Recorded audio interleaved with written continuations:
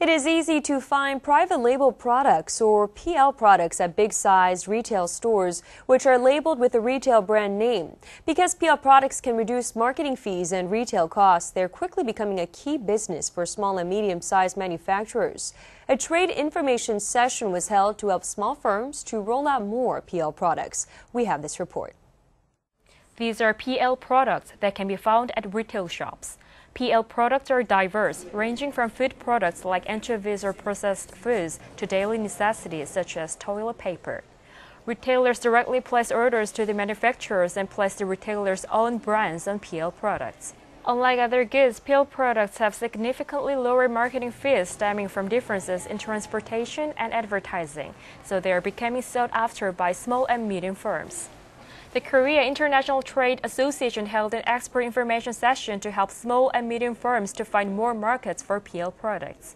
세계 대형 유통업체들의 그 PL 소싱이 확대하고 있는 추세고 Giant retailers worldwide are on a track to increasing their PL sources. And because the Korea US FTA is about to take effect, Korean firms, which already have great price competitiveness and quality products, can meet global PL retail buyers and networks to boost exports. This is why we invited global buyers and retailers to hold a trade seminar.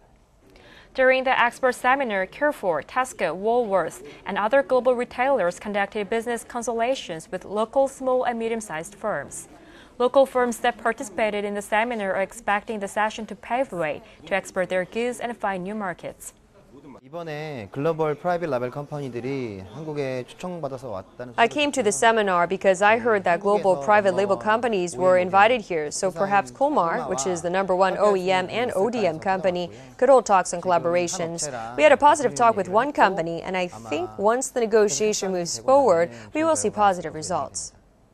The expert seminar attended by nine global retailers is expected to have offered great opportunities for the advancement of the local private label industry.